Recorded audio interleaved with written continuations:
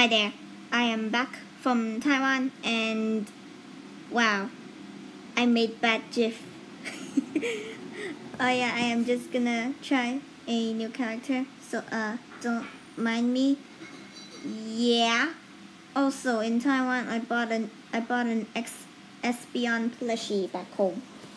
Okay, I also have fun with my friends in Taiwan. Yeah, it's so fun. And I don't know why I had a dream of me getting 53 subscribers. And I was like, 53 subscribers? How is this possible? How can I even dream of that? I can't even dream futures.